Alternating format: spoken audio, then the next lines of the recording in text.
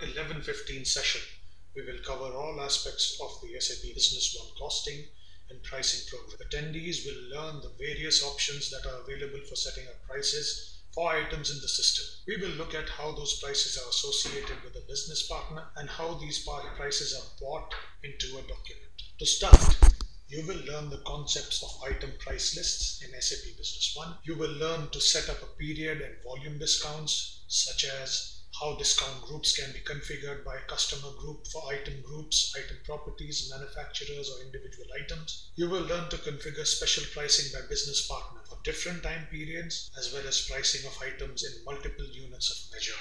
Learn how to utilize discount groups to set pricing by various customer criteria for items, item groups, manufacturers, or user-defined properties. Next, we will train users on how to perform mass price updates as well as copy prices between customer groups, items, and different units of measure. Learn to implement automatic and manual price updates. How the new serial slash batch item valuation in SAP Business 191 can be set up to provide pinpoint gross-margin reporting. And finally, you will learn to import item prices from Excel.